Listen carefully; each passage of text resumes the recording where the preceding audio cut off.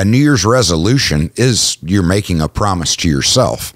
And what do we all know about New Year's resolutions? They don't work.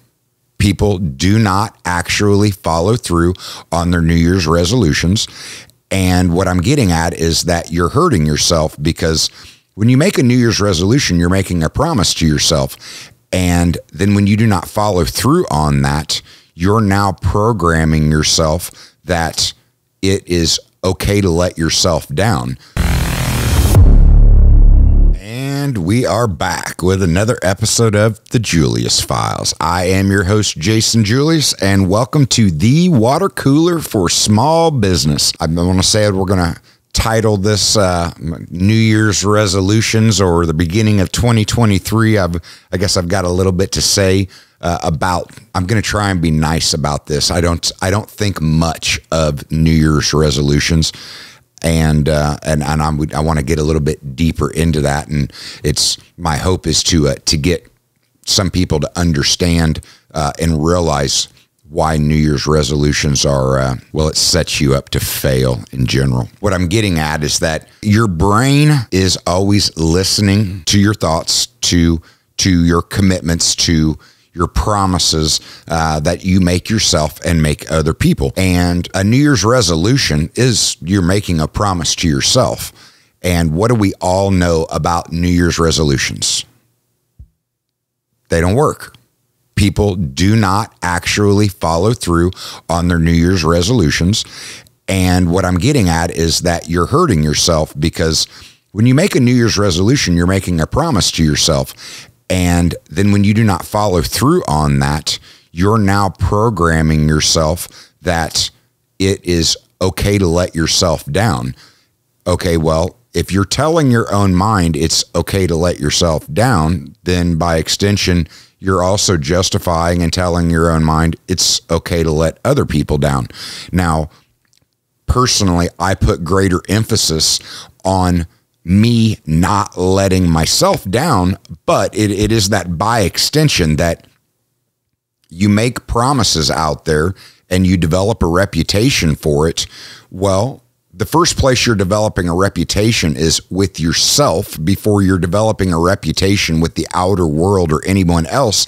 So when you make a New Year's resolution or a promise to yourself and then you do not follow through with it, you are in fact letting yourself down and you're programming your brain and by extension you're doing harm to yourself so when i think about that uh, i think about my own life in general and I've I've always I've never been real big on, on New Year's resolutions. I always thought that they were just generally a crock of shit.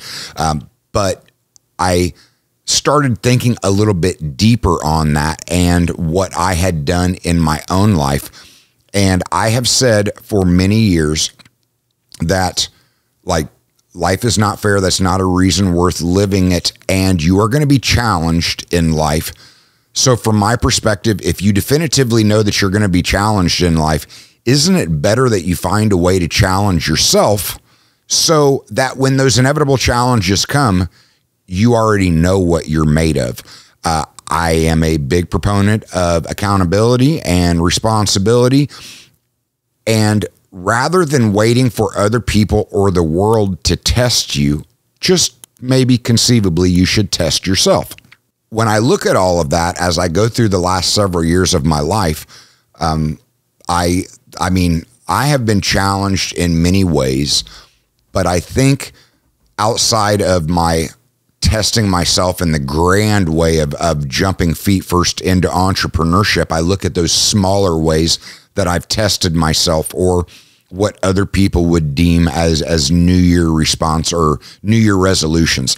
I the first time that i tested myself and my my thing is is that okay so if you look at a new year's resolution it is in fact a a commitment that you're making to yourself for a year.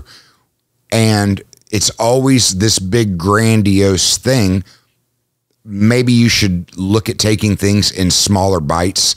Maybe you should challenge yourself, make promises to yourself, attempt to challenge yourself in smaller ways uh, before you go trying to make bigger commitments to yourself, which inevitably, if you haven't tested yourself in smaller ways, is actually setting you up to fail. So when I look back at my life, and I'm that's I'm a big believer in uh, programs. It is no different than in business. Uh, you have to put processes and procedures in place. You have to systemize the business in order to get any type of result, or in order to get any type of consistent result. So rather than a New Year's resolution, which I, I don't understand why people pick the first of the year to decide that they're going to do something good or healthy and then it being a year long only to set themselves up to fail. It, it can be at any time of year. And I'm saying that because I look back on my life and I have always been very physically health conscious. It, I mean, it's only been within the last decade that I, I have included the mentally health conscious and only to find out that I mean your your mental health is the ultimate of utmost importance. Your mental health should come before anything else and by extension your physical health is going to lend to great mental health. So combining them and working on great mental health and great physical health together will allow you to be your best person. Thereby, you can work on the health of other relationships with other people and actually having fruitful relationships. But part of having a fruitful relationship is a relationship with somebody else where they know that you are good for your word, that you're good for your commitments. They know that when you say you're going to do something, that you're actually going to do it. Which brings me back to the New Year's resolutions if you make a resolution and you don't do it, you're telling yourself that you'll tell yourself to do something and you won't follow through and actually do it. So when I look back at the different ways that I have tried to challenge myself, I, I, have had successes and failures. And admittedly, it started off with a failure. Um, many of you can remember years back, and I mean, the programs are still out there, they've just all been kind of clustered together but I had this big ambitious goal that I was going to do a program called P90X. Now, admittedly, I did not make it through P90X. And when I look back at it, P90X was really a, a program meant to like really be buff and really be, I mean, in, incredibly strong. And an hour and a half a day for 90 days is, uh, I mean, that's one hell of a challenge to put in front of you. And I want to say that I made it through like six weeks of it. And, and even I noticed the results in six weeks. But again, working out an hour and a half a day, uh, lifting for 90 days, maybe that wasn't the best challenge for me to take on because that's still a pretty big challenge. The point is, the next year, I appreciated what I actually got out of it, but I realized that I had started a program that I did not actually finish. So I stepped it back and I went to the program T25. And T25, I came up one day short of completing. In the 89th day, I threw my back out and was not able to actually accomplish the 90th day of the program. But I looked back at it and the results were great. The challenge that I put in front of myself I, I, was very proud that I had made a commitment to myself. And I looked back and it was like if it wasn't for injury, I, I would have actually completed the 90 day program. So a year later, I stepped back and I did T25 again. It admittedly, which is also learning these lessons, is what I was able to apply to the future. I was very conscious uh, of the exercises of the weight that I was lifting because it was to me it was just as much about the mental commitment that I made that I finished the program as it was the actual results that I got out of it. So I did finish the program. And I look back now and realize the mental win that it was for me to actually complete that program.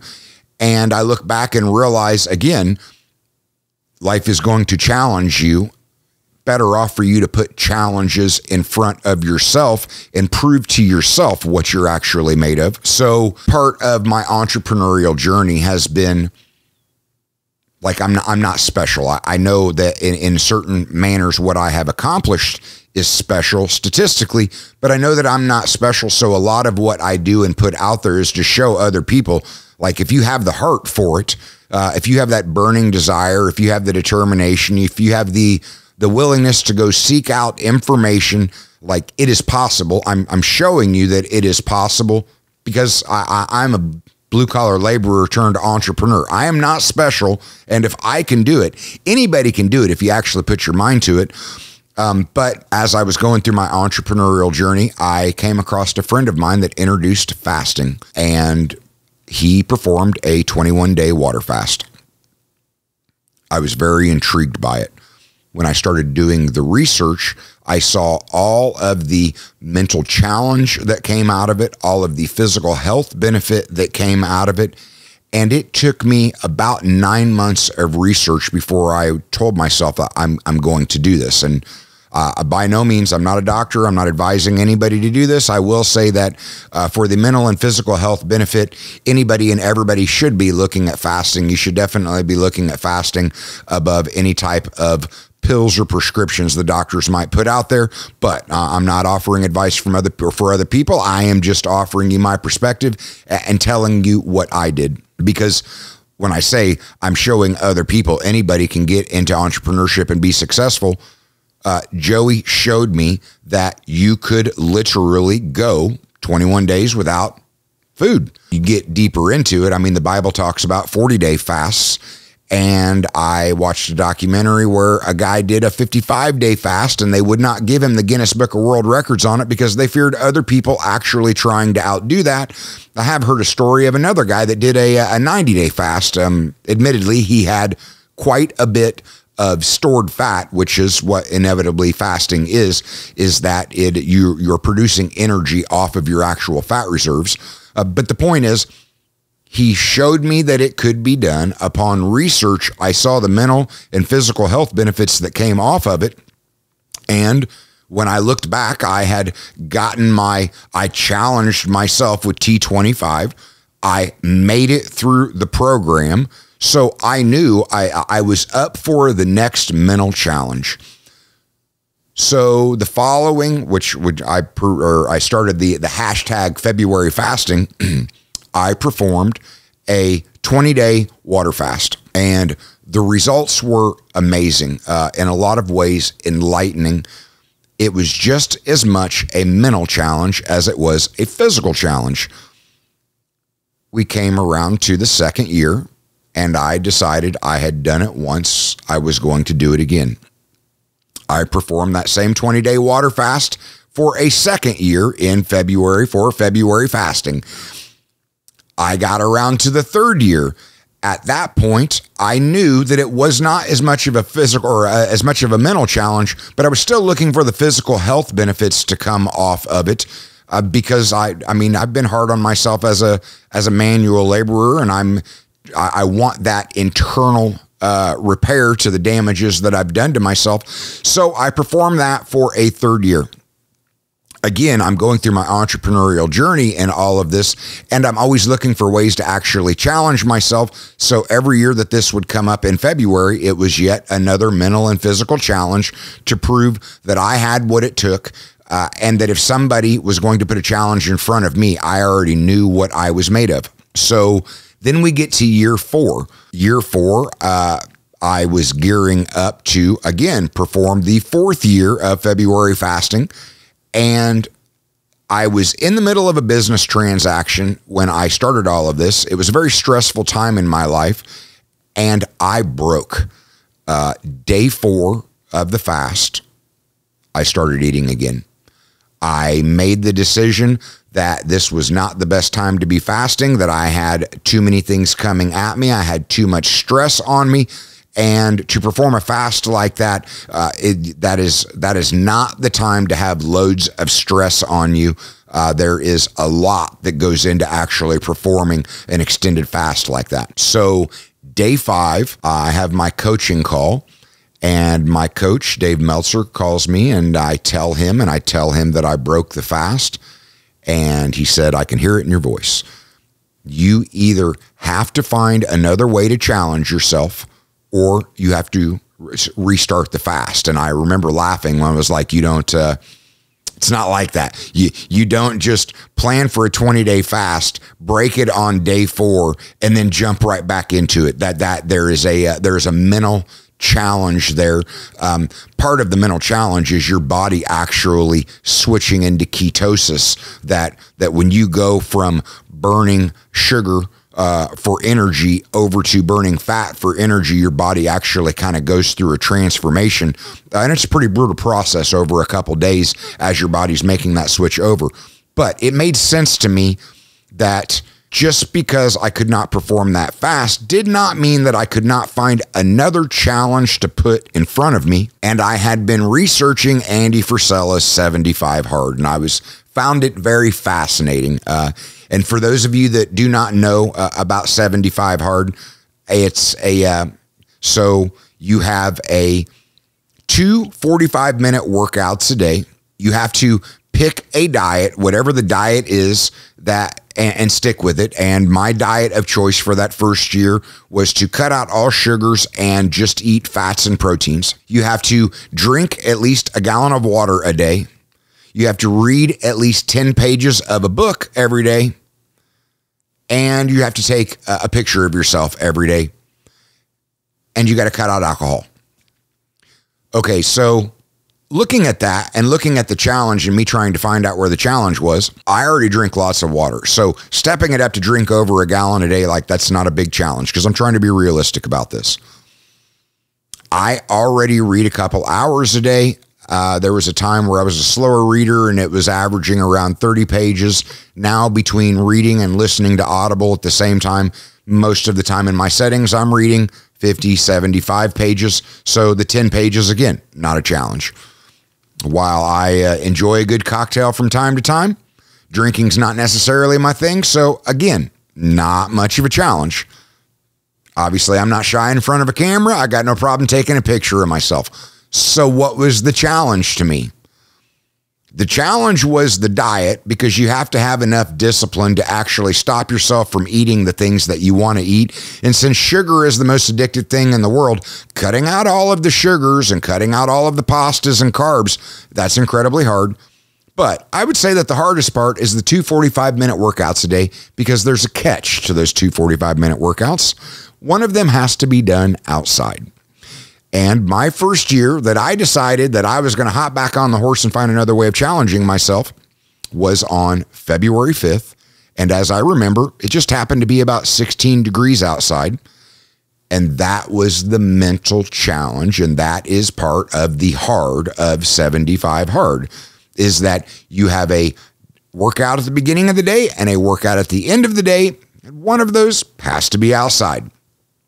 Okay it was a great way for me to rebound breaking that fast because it was a mental failure. I started something and I did not complete it, but I found something else to jump into.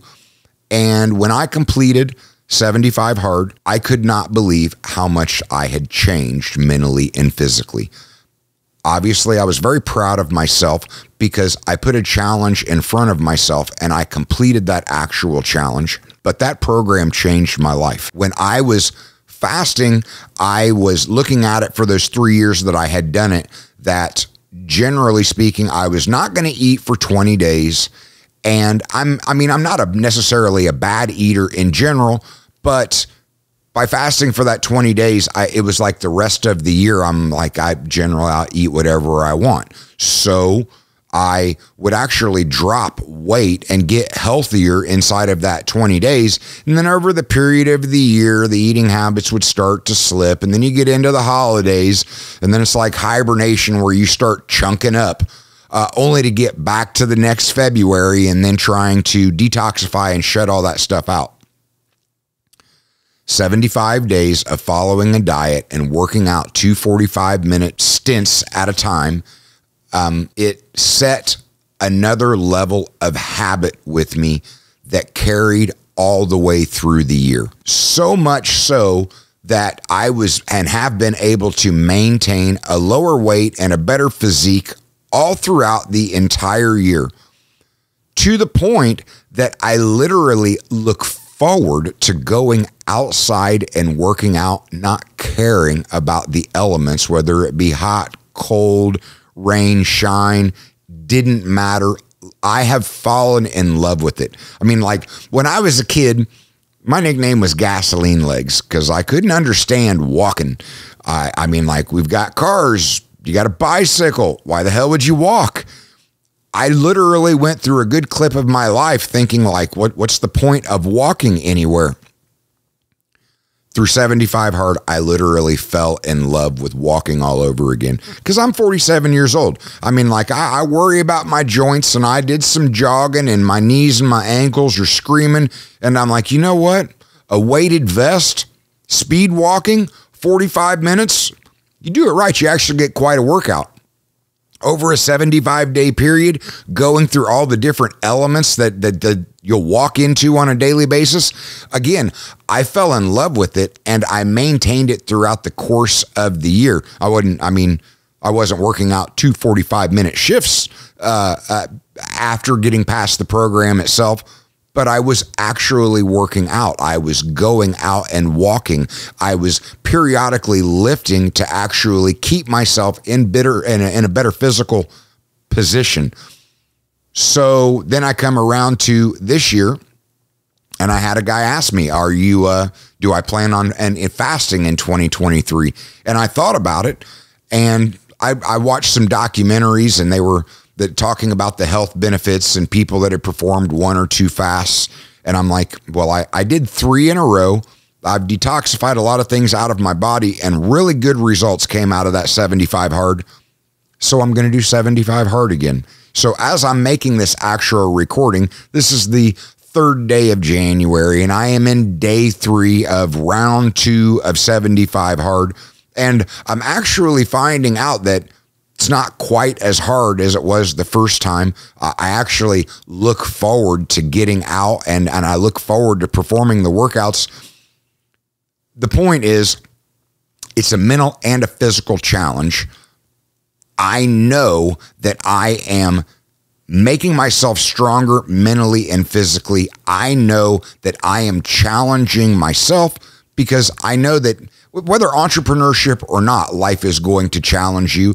And I am very intent on challenging myself so that anybody else that wants to challenge me, I'm gonna be honest, I don't I mean, most people know me. They know the challenges I put in front of myself. So they know that I'm generally up for any challenge out there. But the point is, somebody comes along that wants to challenge me. I want to know what I'm made of. So I am a proponent of literally telling anybody and everybody, find out what you're made of uh, before somebody else finds out and and I'm just being honest about it. You're going to be challenged in life. So why not pick those challenges and go about proving to yourself that you are in fact up for the challenge? Why not prove to yourself just how strong you are so that if somebody else comes along and tries to break you, you know you're not going to break. And I'm saying you know you're not going to break because if you put little challenges and it's a win, well, you find another challenge and it's a win and another challenge and it's a win. You start building up your self confidence to where you know you can win if you're challenged. And it doesn't matter in entrepreneurship or in life in general.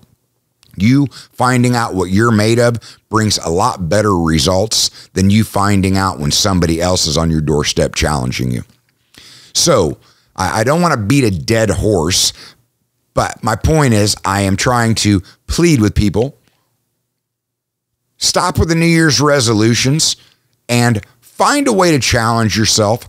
Pick a program and go after small wins and literally do something that's going to have a healthy, positive mental and physical uh, achievement and stepping stone to a better life and do it proactively, do it on purpose because sooner or later, these things are going to happen to you in life in general. Challenge yourself before other people challenge you, and you're going to know what you're made of. Okay. I'm not going to beat a dead horse. That was my my my New Year's message in general. Have a great relationship with yourself mentally, have a great relationship with yourself physically, and you will be able to have great relationships with other people. And it really is that simple. All right. Till next time, you guys have a good night.